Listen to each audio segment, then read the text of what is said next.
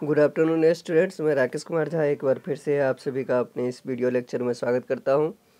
यह है कक्षा बारह के समष्टि अर्थशास्त्र के अध्याय दो का भाग पाँच। इसके अंतर्गत आज हम अध्ययन करेंगे उत्पाद अथवा मूल्यवर्धित विधि।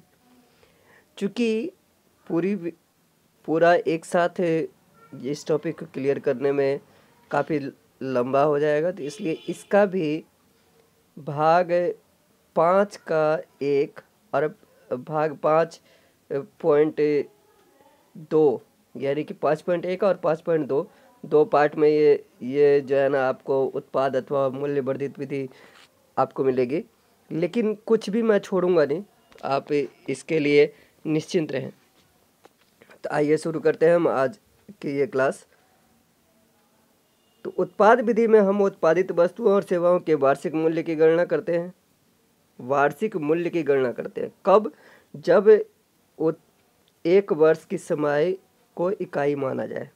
यानी कि एक वर्ष को, यानी कि वर्ष जो है ना, समय का मानक जो है हमारा, एक वर्ष अगर हो, तब हम क्या करते हैं? तो उस पूरे साल के दौरान वस्तु और सेवाओं का जो उत्पादन होता है और उसकी जो कुल मूल्य होता है तो उसकी गणना करते हैं। तो प्रश्न आता है कि इसकी गणना कैसे की जाए? इस और क्या हम अर्थव्यवस्था के सभी फर्मों द्वारा उत्पादित वस्तुओं और सेवाओं का योग करते हैं? तो इन्हीं प्रश्नों का उत्तर हम आगे जानेंगे।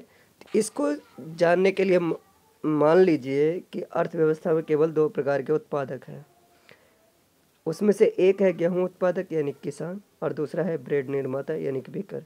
गेहूँ उत्पादक गेहूँ का उत्पादन करते हैं, और उन्हें उन्हें मानव श्रम के अलावा किसी भी प्रकार के आगत यानी कि इनपुट की आवश्यकता नहीं होती है।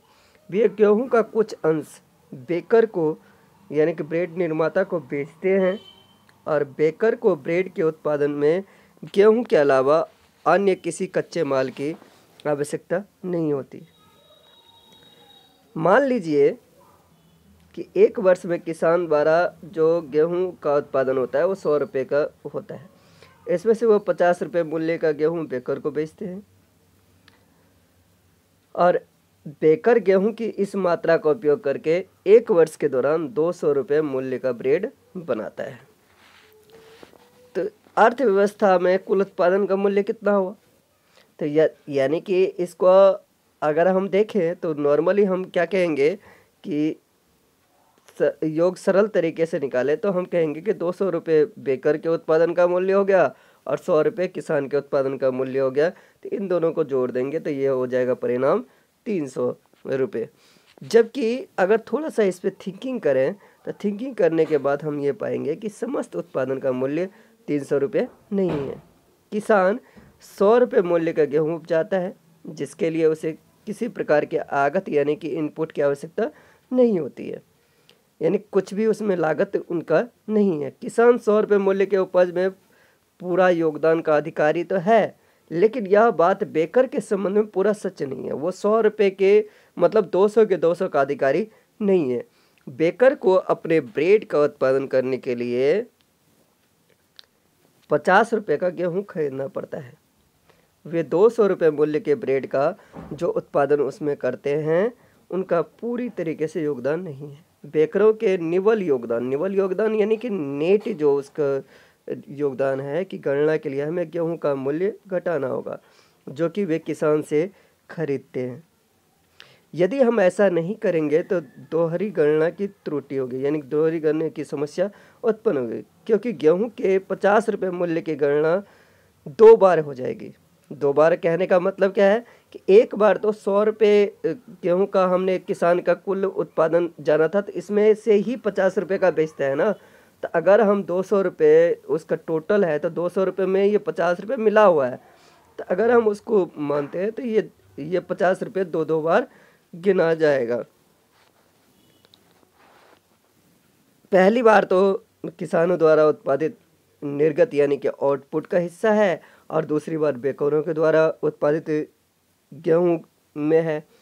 तो इस प्रकार बेकर का निवल योगदान, यानी कि नेट योगदान कितना है तो 200 सौ माइनस पचास, यानी कि एक सौ पचास रुपये है।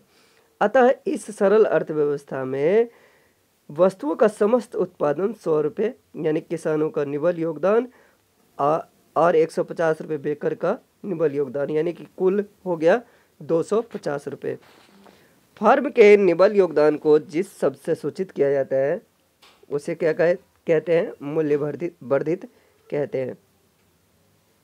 फर्म के निवल योगदान, यानी कि नेट योगदान को जिस शब्द से सूचित करते हैं, यानी कि नेट योगदान जो होता है, यानी कि जितना उसका मुनाफा एक तरीके से आप कह सकते हो तो वो क्या है? मूल्यवर्धित कहलाता है। कोई फर्म दूसरे फर्म से जो कच्चा माल खरीदती है, उसको उत्पादन के प्रक्रम में पूरी तरीके से उपयोग कर लिया जाता है तो इसे क्या कहते हैं हम? मध्यवर्ती वस्तु कहते हैं। जैसे कि अभी हमने देखा कि बेकर ने क्या किया? पचास रुपये के, का गेहूँ खरीदा और उसको, उसने क्या किया? उत्पादन, यानी कि ब्रेड बनाने के लिए प्रयोग किया। तो गेहूँ क्या हो गया? उसके लिए मध्यवर्ती वस्तु हो गई। अतः किसी फार्म का मूल्य वर्धित फार्म के उत्पादन का मूल्य फर्म द्वारा प्रयोग किए गए मध्यवर्ती वस्तुओं का मूल्य है। फर्म के मूल्यवर्धित का वितरण उत्पादन के चारों कारकों में किया जाता है। उत्पादन के चारों कारक कौन कौन से हैं? तो जरा ध्यान दीजिए। उत्पादन के चारों कारक है, मेहनत, श्रम यानी कि पूंजी, उद्यमिता और भूमि इसलिए एक फर्म द्वारा अदा यानी कि पे की गई मजदूरी, ब्याज, लाभ और लगान फर्म की मूल्य वर्धित में जुड़ना चाहिए। क्योंकि देखिए अगर दो सौ रुपये की अगर बात करेंगे तो बेकर जो ब्रेड बनाता है तो उसमें क्या हुआ कि वो, उसमें उसकी मजदूरी भी है। प्लस उसने अगर कहीं से ऋण लिया है तो उसका ब्याज भी देना पड़ेगा और उसमें उसका लाभ है और प्लस टैक्स भी दिया है। तो ये सब मूल्यवर्धन में जुड़ता है। मूल्यवर्धित क्या है? एक प्रवाह परिवर्त है।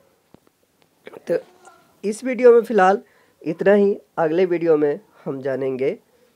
इससे आगे की बात, तब तक के लिए शुक्रिया, धन्यवाद।